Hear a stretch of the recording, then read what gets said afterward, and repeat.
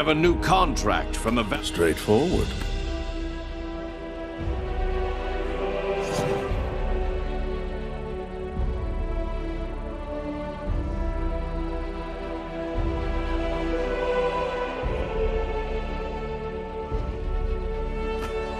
It seems that whatever they...